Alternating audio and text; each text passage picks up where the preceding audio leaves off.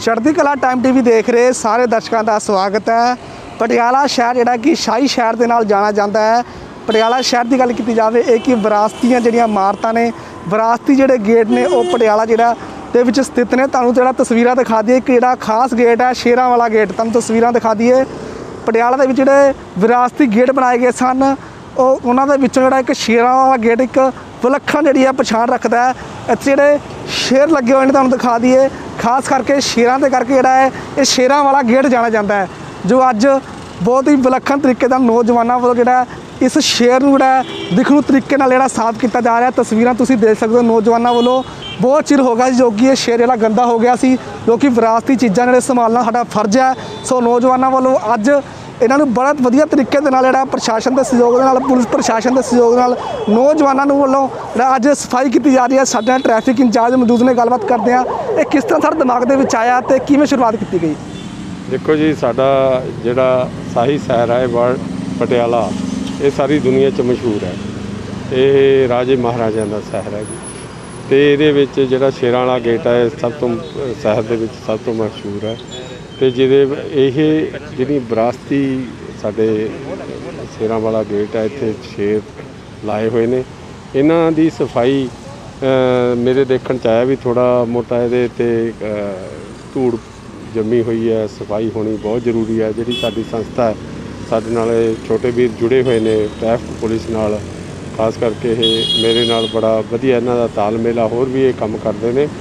ਤੇ ਅਸੀਂ ਇਹ ਉਪਰਾਲਾ ਕੀਤਾ ਕਿ ਜਿਵੇਂ ਸ਼ੇਰਾਂ ਵਾਲੇ ਗੇਟ 'ਚ, ਸ਼ੇਰ ਨੇ ਜਾਂ ਉਧਰ ਨਦੀ ਤੇ ਘੋੜੇ ਨੇ ਜਾਂ ਇਹਦੇ ਬਾਰਾਂਦਰੀ ਵਿੱਚ ਜਿਹੜੇ ਸਾਡੇ ਬਹੁਤ ਹੀ ਸਤਿਕਾਰਯੋਗ ਵੱਡੇ ਰਾਜੇ ਮਹਾਰਾਜਿਆਂ ਦੇ ਜਾਂ ਕੋਈ ਹੋਰ ਬੁੱਤ ਨੇ ਉਹਨਾਂ ਨੂੰ ਅਸੀਂ ਸਫ਼ਾਈ ਕਰਾਉਣ ਵਾਸਤੇ ਇਹ ਸਾਰੀ ਟੀਮ ਨੇ ਇੱਕ ਬੀੜਾ ਚੱਕਿਆ ਕਿਉਂਕਿ ਅਸੀਂ ਆਪਣਾ ਸ਼ਹਿਰ ਨੂੰ ਸਾਫ਼ ਸੁਥਰਾ ਰੱਖਣਾ ਸਾਡਾ ਇੱਕ ਸਮਾਜਿਕ ਵੀ ਜ਼ਿੰਮੇਵਾਰੀ ਬਣਦੀ ਹੈ ਕਿ ਮੈਂ ਤੁਹਾਡੇ ਜਰੀਏ ਲੋਕਾਂ ਨੂੰ ਅਪੀਲ ਕਰਦਾ ਕਿ ਜਿੱਥੇ ਆਪਣੇ ਆਲੇ ਦਾਲੇ ਸਾਰੀ ਕੋਈ ਵੀ ਤੁਹਾਨੂੰ ਕੋਈ ਚੀਜ਼ ਡਿੱਗੀ ਪਈ ਮਿਲਦੀ ਹੈ ਜਾਂ ਕੋਈ ਹੋਰ ਹੈ ਸਫ਼ਾਈ, ਉਹ ਤੁਸੀਂ ਆਪਣਾ ਆਲਾ ਦਾਲਾ ਸਾਫ਼ ਰੱਖੋ ਤਾਂ ਜੋ ਅਸੀਂ ਆਪਣਾ ਪਟਿਆਲਾ, ਜ਼ਿਲ੍ਹੇ ਨੂੰ, ਪਟਿਆਲੇ ਸ਼ਹਿਰ ਨੂੰ ਸਾਫ਼ ਰੱਖੀਏ ਤੇ ਇਸ ਵਿਰਾਸਤੀ ਜਿਹੜਾ ਸ਼ਹਿਰ ਹੈ, ਜਿਹੜਾ ਨੌ ਵਰਲਡ ਦੇ ਵਿੱਚ ਨੌ ਸ਼ਹਿਰ ਦਾ ਬੜਾ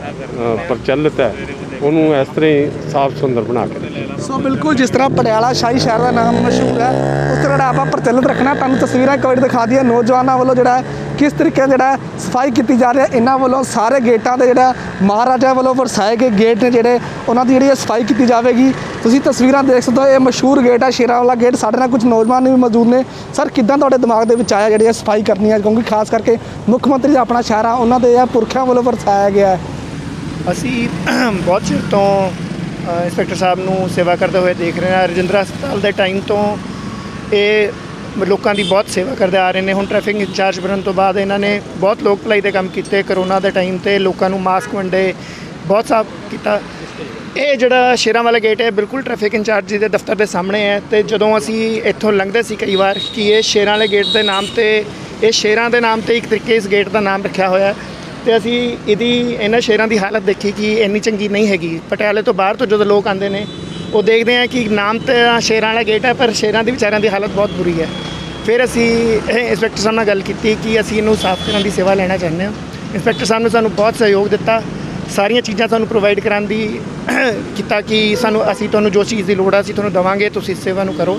ਅਸੀਂ ਅੱਜ ਇਹ ਸੇਵਾ ਸ਼ੁਰੂ ਕੀਤੀ ਹੈ ਦੋ ਤਿੰਨ ਦਿਨ ਲੱਗਣਗੇ ਇਹਨਾਂ ਨੂੰ ਪੂਰੀ ਤਰ੍ਹਾਂ ਸਾਫ਼ ਕਰਨ ਦੇ ਵਿੱਚ।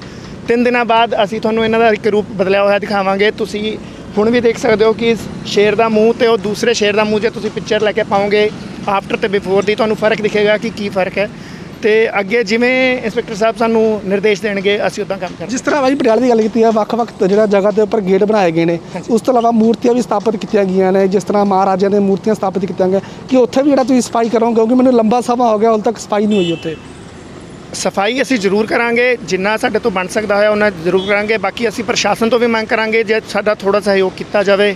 ਜਿਵੇਂ ਇੰਸਪੈਕਟਰ ਸਾਹਿਬ ਕਰ ਰਹੇ ਨੇ, ਉਵੇਂ ਉਹ ਸਾਡਾ ਸਹਿਯੋਗ ਕਰਨ ਤਾਂ ਅਸੀਂ ਇਹ ਸੇਵਾ ਜ਼ਰੂਰ ਕਰਾਂਗੇ ਸੋ ਬਿਲਕੁਲ, ਨੌਜਵਾਨਾਂ ਵੱਲੋਂ ਵਧੀਆ ਉਪਰਾਲਾ ਕੀਤਾ ਜਾ ਰਿਹਾ ਹੈ, ਕਿਉਂਕਿ ਜਿਹੜੀ ਸਾਡੀ ਵਿਰਾਸਤ ਹੈ, ਸਾਨੂੰ ਆਪ ਸਾਹਮਣੀ ਪਵੇਗੀ ਕਿਉਂਕਿ ਜਿਹੜੇ ਲੋਕ ਸੈਲਾਨੀ ਆਉਂਦੇ ਨੇ, ਇੱਥੇ ਦੇਖਦੇ ਨੇ ਕਿਸ ਤਰ੍ਹਾਂ ਦਾ ਮਹਾਰਾਜਿਆਂ ਦਾ ਜਿਹੜਾ ਸ਼ਹਿਰ ਵਸਾਇਆ ਗਿਆ। ਸੋ ਮੁੱਖ ਮੰਤਰੀ ਦਾ ਕੈਪਟਨ ਦਾ ਆਪਣਾ ਸ਼ਹਿਰ ਹੈ। ਸੋ ਨੌਜਵਾਨਾਂ ਜਿਹੜਾ ਉਪਰਾਲਾ ਕੀਤਾ ਗਿਆ, ਬਹੁਤ ਹੀ ਸ਼ਲਾਘਾਯੋਗ ਕਦਮ ਹੈ।